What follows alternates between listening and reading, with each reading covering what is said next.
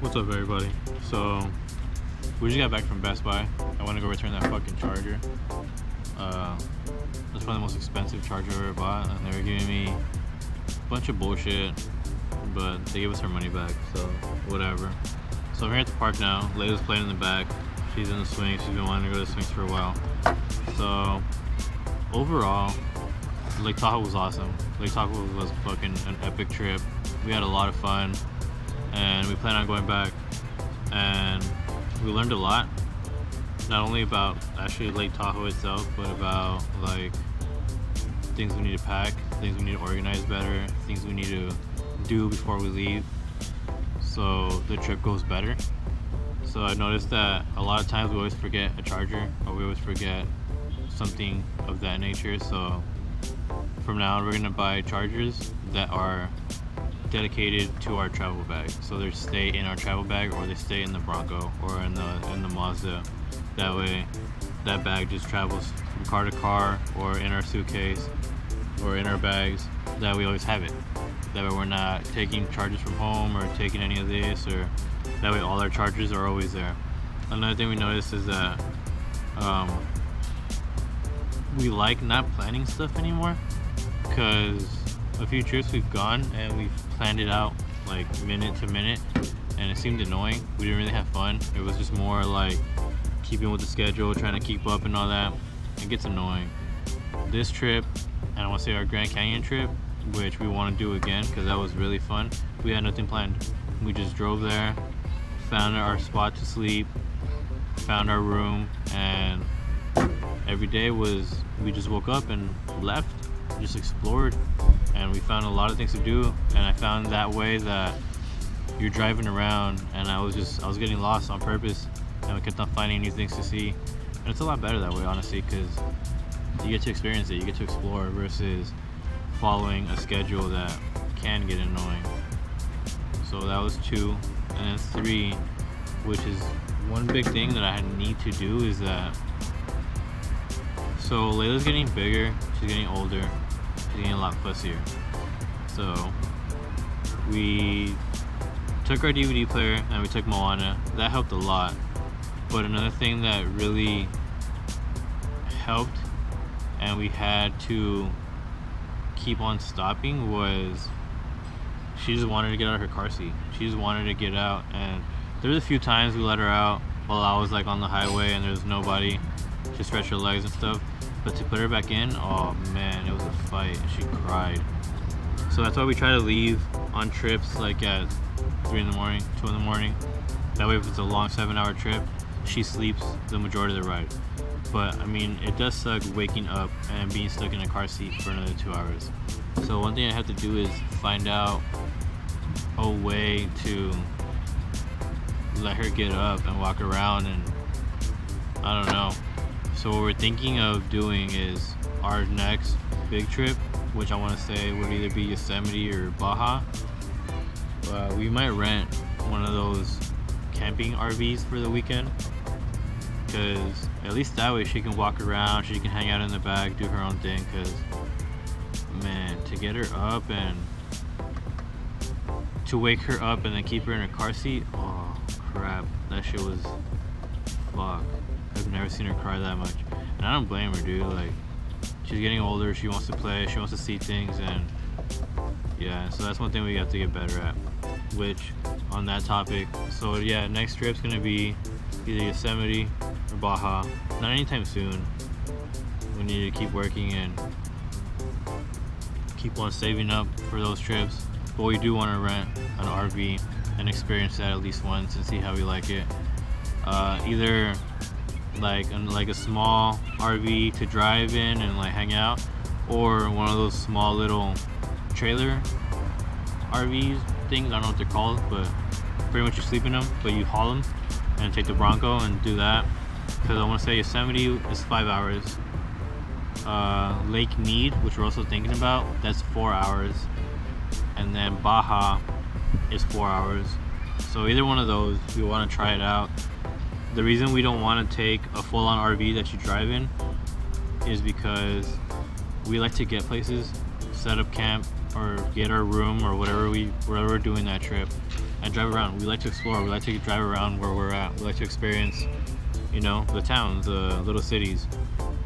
And if we're in an RV, it's gonna be a pain in the ass to find parking everywhere we go. So that's why I'd rather haul one, like a small little, just one where you sleep. That's it. That way we can park it, leave it at our campsite or our RV hookup or whatever, and then drive the Bronco around and get to experience things and you know we get to see more. So that's one thing that we're thinking about. Another thing that we're thinking about is uh,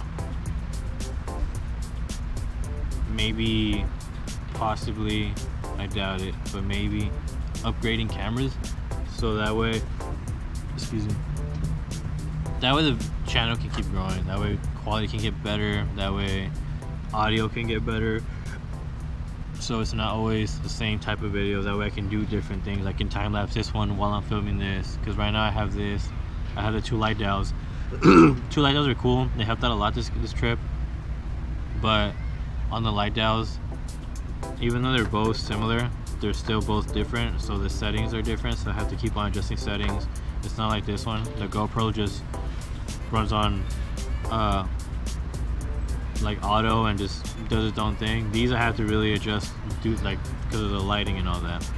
So I'm thinking of just getting one main focus camera, like nice, actually like point and shoot for our actual vlog, and then have this one as a backup for time lapses, slow mos, and any other B-roll.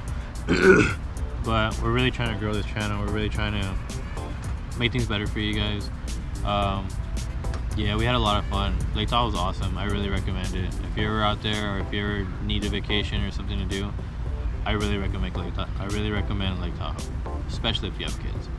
Lake Tahoe has a nightlife, but it's not nothing like anywhere else. It's not crazy at all. You can walk around with your kids. We were walking around with Layla like at 10 o'clock at night to go get pizza, and it's fucking awesome. And honestly, there's I didn't see any shady people. I didn't see nothing bad. I have nothing bad to say about Tahoe. Tahoe was fucking amazing. It's beautiful. The weather was perfect, and it's crazy because I was telling my homie, uh, it's really modern what they have in Tahoe. It's like it's like being in a city, but like a cabin feel to it. It's fucking awesome. Like they have everything you need, but you really have to be looking for it in order to find it because there was times where we wanted a 7-Eleven or like a Jack in the Box just to get something like coffee in the morning or something. If you're not looking for that Jack in the Box, you're gonna drive right by it because it looks like a cabin. That is the most beautiful Jack in the Box I've ever seen in my life. Same thing with the AutoZone. There was an AutoZone there, and I just wanted to pull in and get some oil just in case for the trip or some coolant. And I was driving around, and I was like, "What the fuck is this?" And it looked like a motel to me. I thought it was like a nice little motel. It turned out to be an AutoZone. Pretty badass. So you know, I really recommend it. It was a beautiful trip. It was relaxing. That lake, that lake is beautiful.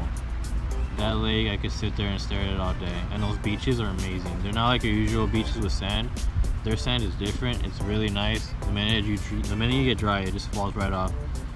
It was awesome. Those beaches are beautiful, and I had a lot of fun. So we're thinking about going back probably next year, maybe for winter, so we can see it in the snow. But for sure, taking the Bronco because putting the snow chain on the Mazda is a pain in the ass. So I got a lot of questions about that. So the reason we didn't take the Bronco is because one, that would have killed us on fucking gas, and two, the Bronco is a smooth ride. It's fast. It's reliable, but it's also not friendly to drive uh, for my wife. And on a seven hour drive, we like to switch and play with Layla in the back or whatever. And I wouldn't want, I don't, I wouldn't feel comfortable, and I don't think she would feel comfortable driving the Bronco through those windy roads. especially with that engine, it's very sensitive, and if you step on it a little bit too hard, that's just taking off. So that's why we took the Mazda, because it's a seven hour trip, it saved us on gas, and it's a lot better for a long trip for her to drive and for her to help me out in. Like Yosemite, all those trips. Then we'll take the Bronco. Sorry about that. For those trips, we'll take the Bronco. It's not that far, four hours. That's doable.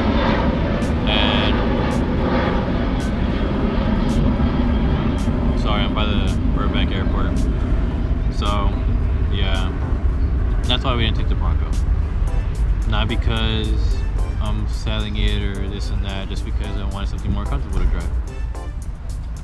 Oh, a lot of people have been asking me, uh, how do I say it?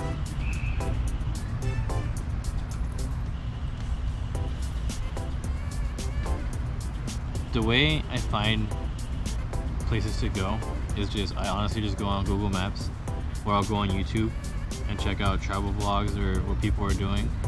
And if I like it, then we'll go.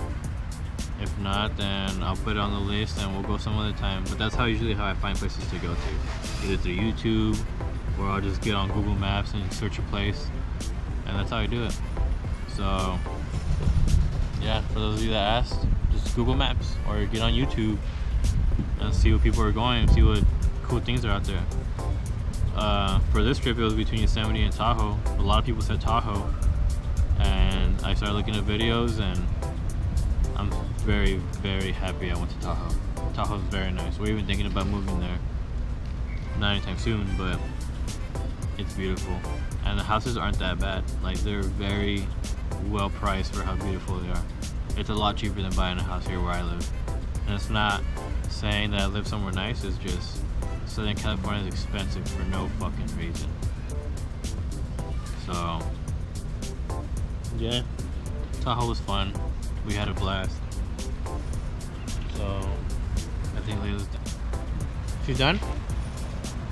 Yeah, so that's it guys. So, thank you for watching. Hope you guys enjoy the videos. Time to head home and get ready for work tomorrow. Alright, peace out.